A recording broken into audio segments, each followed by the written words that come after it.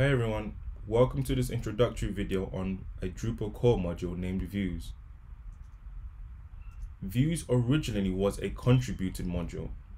What this means is that the module had to be downloaded separately to then be added to the website to extend the functionality of the website. But as of Drupal 8 and in Drupal 9, Views is now part of core, of part of Drupal's core. The reason being is simply because every Drupal site at as of now, as far as I can tell, uses this module. Um, I think roughly 600,000 Drupal sites are now using this module. And essentially what this module does is it allows you to display particular type of content to users. So for example, take this um, search result page on Amazon. Highlighted here, you can see the content. You can see a list of iPads now, this is what Views is able to do. Views is able to gather all content that you specify it to gather and it displays it to your users.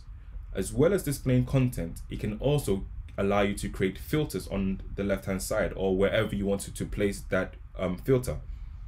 The filter essentially allows um, your users to then filter out particular content or products or items that they do not want to see or perhaps they do want to see and highlighted here in this yellow box is the sort by. So I'm sure most of you guys know, I'm sure all of you have done online shopping at least once, that anytime you're shopping, you kind of go to the sort by and you begin to sort by low to high on the price or high to low, or perhaps you sort by relevant. Views allows you to do just that. Now, although we have a listing page like this, where you have um, content above content, you could also have it displayed like this you can have content displaying however you want it to display. It doesn't necessarily have to be row after row. It could be side by side. It could be you have um, a featured content and then um, the sub featured content showing next to it. It, it. It is entirely up to you how you want to display it. As well as being able to create pages like this, listing pages like what we saw on the previous page on Amazon and BBC News, you can also create what we call in Drupal blocks and essentially you could create something like this. So highlighted here in the purple so purple slash pink magenta box this essentially is also a view. Now again fox news as far as i know was not created using drupal. However with drupal views you are able to create a block that you can display on the home page listing perhaps maybe you want to display the latest blog post on your website or perhaps the latest product on your website. Views allows you to display just that so the reason why I'm starting off with views is because I see views as a gateway into touching different aspects of Drupal.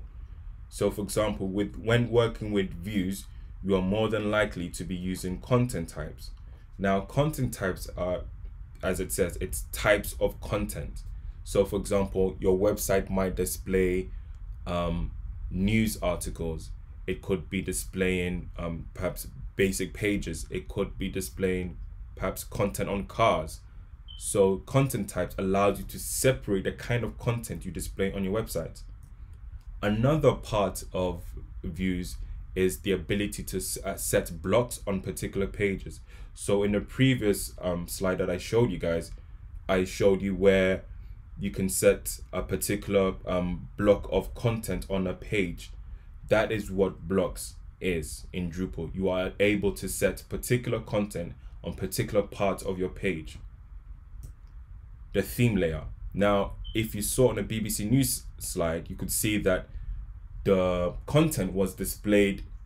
You could see a list of content, but it wasn't displayed in the traditional um, row by row. It was displayed differently. So we'll be touching on how to display content, how you want it to be displayed instead of following the conventional line after line. And also, for example, Views allows you to work with dynamic content within context. So what this means is that, for example, let's say you have a website and you allow users to register and start posting their blog posts onto your website. Now, if I wanted to see the posts that I've posted on the website, I could then click on my profile account and I should see a list of all content that I have posted. I don't want to see content of everybody else's posts. I just want to see content that I have posted. Views allows you to do just that.